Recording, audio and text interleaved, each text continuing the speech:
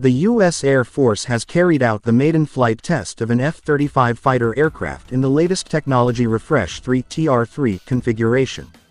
Conducted on the 6th of January, the test was executed by a developmental test team assigned under the 461st Flight Test Squadron from Edwards Air Force Base AFB, California, U.S.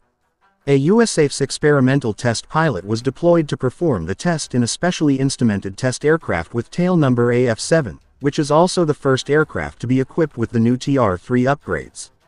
During the test flight, which lasted for 50 minutes, the pilot operated F-35 jet at a high speed, close to the speed of sound, above the Mojave Desert at a height of 35,000 featuring.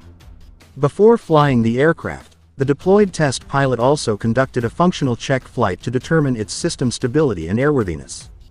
The new flight test marks the beginning of a series of developmental and operational flight tests that will be performed throughout the year.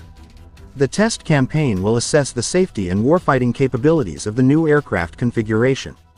USAF F-35 Joint Program Office Program Executive Officer Lieutenant General Mike Schmidt said, TR-3 is the F-35's critical computer processing electronics upgrade that will continue to provide all our pilots with the capability they need to be successful against any adversary.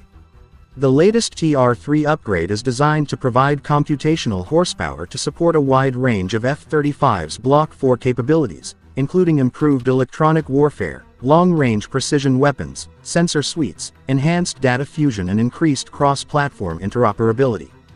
All the features will allow combat pilots to identify, track, engage, and counter emerging air, ground, and cyber adversaries.